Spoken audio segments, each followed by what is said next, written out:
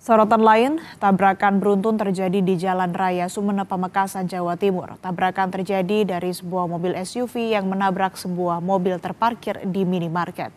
Akibatnya, ketiga mobil rusak berat.